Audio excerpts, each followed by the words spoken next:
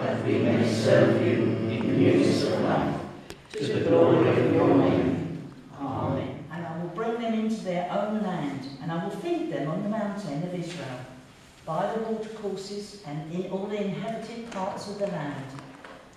I will feed them with good pasture, and the mountain heights of Israel shall be their pasture.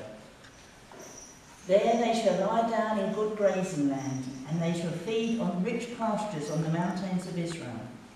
I myself, In the power of the Spirit and in union with Christ, let us pray to the Father.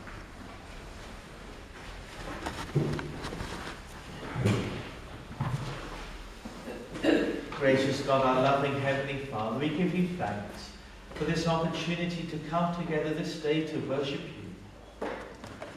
Father, we pray that in our daily lives, as we go about our daily living, we may enthrone Christ in our lives, and that we may be faithful in working in his service for the care of those in need. Lord, in your mercy, Hear our prayer. Father, we pray for your world. We pray for those places where people are suffering. We pray especially for those caught up in the Ebola outbreak and for those seeking to minister to them.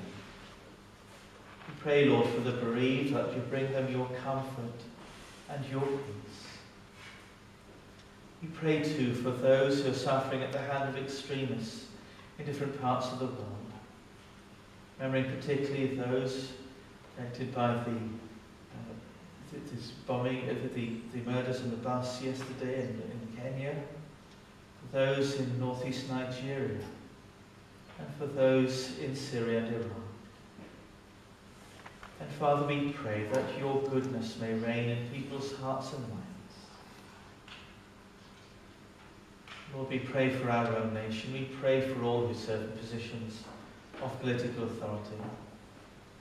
Lord, we ask that they may seek to serve with humility and integrity, recognizing the kingship of your Son over all. Lord, in your mercy, prayer.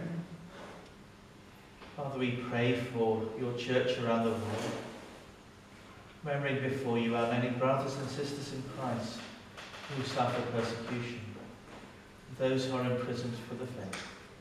Lord, strengthen them to persevere and help us to stand in solidarity with them as our fellow brothers and sisters in the Lord.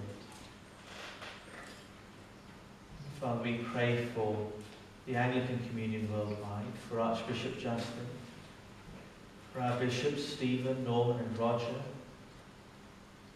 We pray for the outreach of our church here in Jaywick and for all of the different churches around us, that together we may be faithful in our witness to the gospel in our neighbourhoods. Lord, in your mercy, prayer. Father, we pray for our local community of Jaywick. We pray for those who are suffering. We pray for those who are lonely, for those who are unwell, those caring for them. We pray for those caught up in addictions, and for those seeking to support them. We pray, Lord, for all who are seeking to be transformed, and for those who are seeking employment at this time they may not fall into despair. Lord, we ask that you would draw alongside each in their need and bring them your hope and your comfort. Lord, in your mercy, we hold before you, O Lord, those we know who are in particular need at this time. Amongst them we pray for Ashley, Pamela, Barbara, baby Olivia.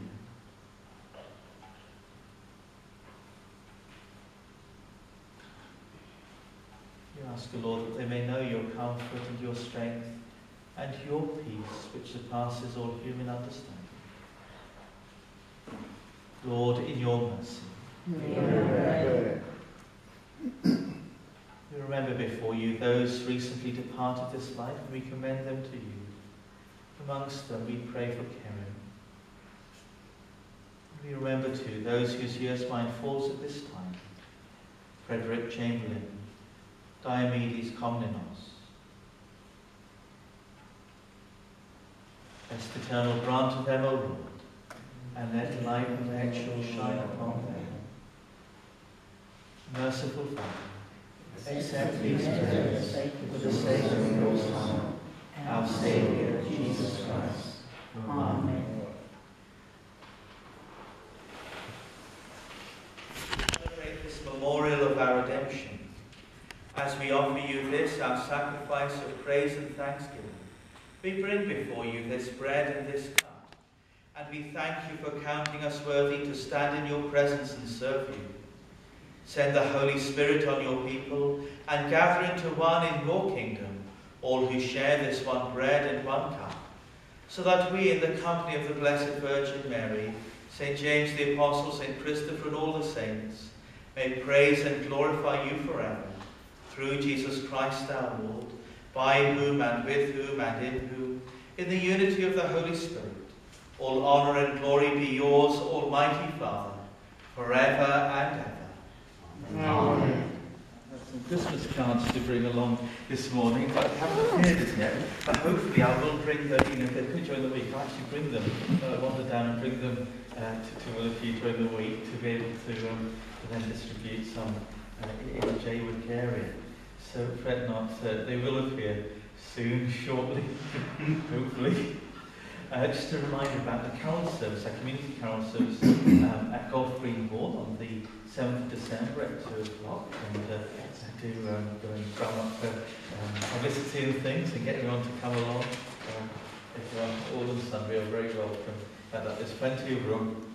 And, uh, and uh, yeah, everything else is there is on the on sheet. Just remember, reminder there's of course the Advent market at St James next Saturday at 10.30. Let's join together in our final hymn this morning. It's uh, 113, Christ Triumphant, Ever Reigning, number 113.